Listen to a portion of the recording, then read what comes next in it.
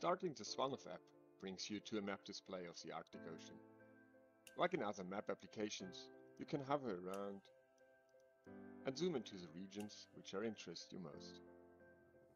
Imagine this app is running on, for example, the bridge of your icebreaking ship. You can fill the map with sea ice concentration information by clicking Update Sea Ice Concentration in the upper right corner. The map will be filled with the most recent sea ice concentration, which is updated several times a day. The time step of the information shown is in the lower left corner. Usually this is information 1 to 4 hours old. The first release of the SvalNav app will provide you extra features for the region around the Svalbard archipelago. You might have noticed the tile grid. Each of these tiles you can obtain higher resolution Sentinel-1 radar images in different resolution, whatever your internet connection allows.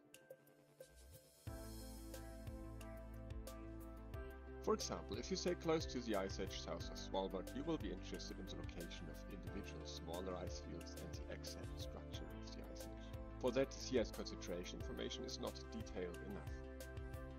Right or long click on a tile will give you the option to download a low resolution image. This will be approximate, approximately 50 kilobytes in size and should be downloadable with any satellite internet connection.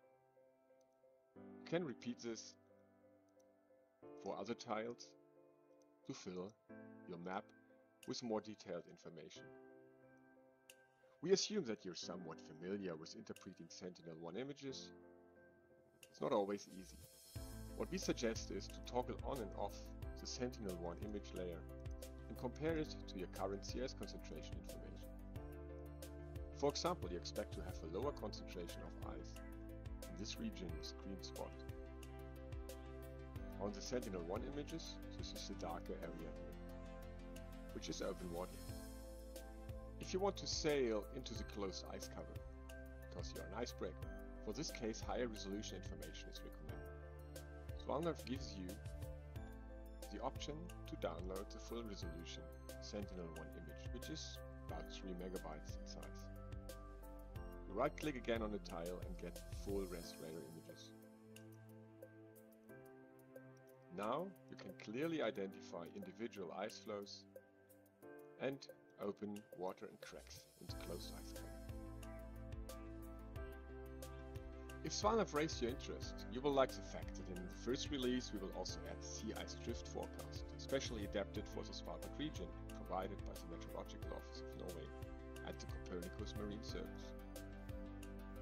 So stay informed, visit the project website or even better, Write us an email to the email address below, share your thoughts on the app and tell us your wishes, what features you would like to have implemented in the app.